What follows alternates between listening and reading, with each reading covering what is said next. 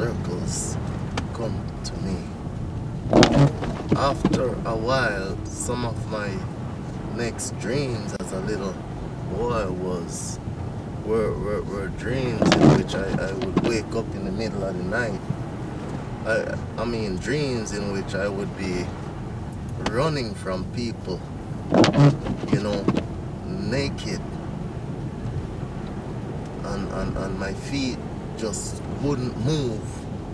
And I always tried to figure out why can't I run inside my dreams? Why can't my legs move? They were just they just wouldn't move. They weren't tied or anything, but they just wouldn't move. No matter how hard I tried to move them, they just wouldn't move. And it was embarrassing because some of these dreams I was always naked, you know. I always couldn't escape from whoever were usually chasing me. I, I don't have any memory of what they were. Maybe if I dig deep into my mind I could. They were they were they were little gray guys, little gray guys, little gray guys.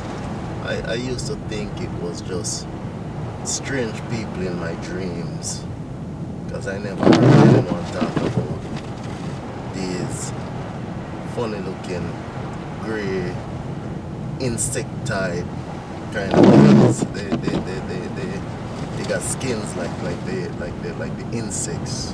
Like nasty, dirty cockroaches. That kind of nasty skin. Insect kind of skin, you know. These little things would always come after me when I escape and try to run. I, I, I remember even in one of my dreams, they, a, couple of my dreams, they would throw me off things. It, it wasn't necessarily cliff, but just throw me off things to let me fall. A matter of fact, some of the time when I um before I wake up they would feel as if they throw me off something.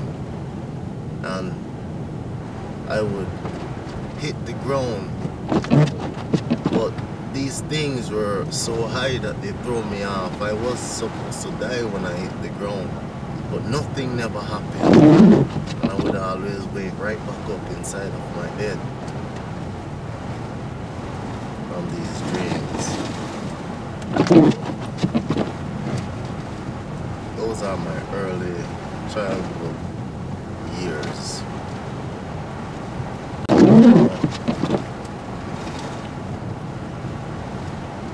Then, when I started going to school,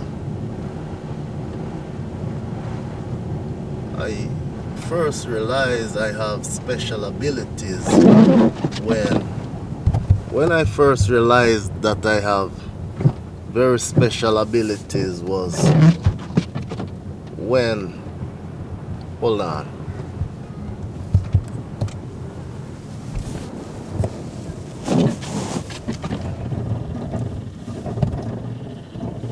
Is when I started realizing that I have some sort of special abilities in fact, I didn't even think it was no special abilities that I had. Well, in class, I wouldn't listen to what teachers were saying most of the times. In fact, sometimes when the teachers were talking, I, I had no clue what they were talking about. You know, between the age of 7, 8, 9, 10 seven, eight, between the age of eight, nine, ten. I had no clues what the teachers were talking about, and I, will tell you, I started reading and writing. I had no knowledge of how to read and write. The only thing I knew was how to spell my name, which is spelled, which used to be spelled A N D R E. A N D R E and I started spelling it.